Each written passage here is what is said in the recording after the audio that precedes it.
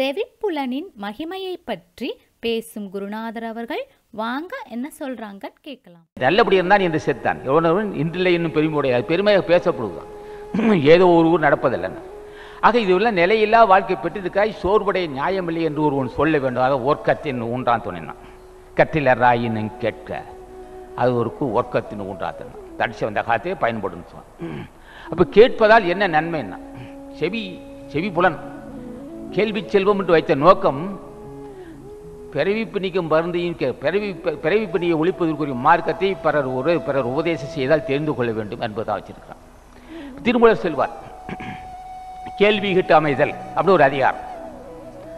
அவர் என்ன கேட்கிறார்? கடவுள் அறிய வேண்டும் சொன்னால் என்ன கேட்கிறார்னா அரங்கேட்டும் அந்தனர் வாய்மொழி கேட்டும். சான்றோர் என்ன கேட்கணும் அறம் என்றால் என்ன? முன்னே சொல்லியிருக்கிறேன். பசி ஆட்டிவித்தல் புலால் உண்ணாதிருத்தல் ஊர்கொலை செய்யாதிருத்தல் பொருள் திர பொருள் பொருளை சம்பாதிப்பதற்காக பொய் சொல்லாதிருத்தல் பேசுவதால் குற்றம் பாதுவாயால் குற்றம் செய்கால் குற்றம் காமத்தால் குற்றம் யான் என்ற கிருபத்தால் குற்றம் இப்படியெல்லாம் கேட்டோம். அறம் கேட்டும் அந்தனர் வாய்மொழி கேட்டும். அறம் கேட்கணும். இப்போ நான் சொன்னது போகிறோம் அறச்செயல்.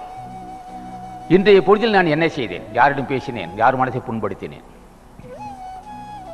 இப்போ அதே மாதிரி ஆசிரியர்கள் வந்து பிள்ளை மாணவர்கள் மனசை புண்படுத்தினான்னு நினைச்சு என்ன தான் பிள்ளைங்கள்ட்ட பிள்ளைங்க டேய் அறிவி விட்டான் ஏன்டா நான் பாடத்தை ஒழுங்காக எழுதுன்னு கேட்பான். அடிப்பான் திட்டுவான்.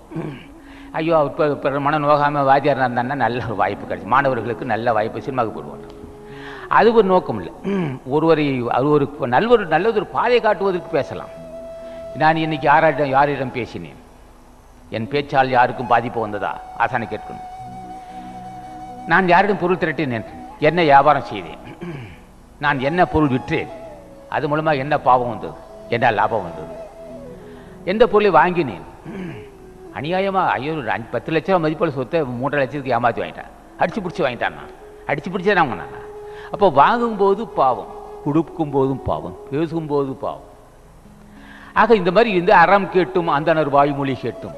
அறத்தை கேட்கணும். பொருள் ஈட்டுங்கால் வரும் பாவம் பொருள் சம்பாதிக்கும் போது ஆக எந்த பேச்சால் வரும் பாவம் செய்கால வரும் பாவம். ஆக ஒருவனுக்கு சரியானபடி கூலி கொடுக்காவிட்டாலும் பாவம் தான். நூறுரூவாய்க்கு நூறுரூவா சம்பளம் வாங்கிட்டு ஐம்பது ரூபா வேலைக்கு ஐம்பது ரூபா ஐம்பது ரூபா உழைப்பை தந்தால் அதுவும் பாவம் தான். நூறுரூவா உழைப்ப நூ நூறு நூற்றி இருபத்தி ரூபா வாங்கிக்குவோம் நூற்றம்பது ரூபா வாங்கிக்குவோம். பதினஞ்சு இருபது ரூபா வேலை கூட செய்ய மாட்டான். அப்போ மறைமுகமாக திருட்டுது. அதுவும் பாவம் தான்.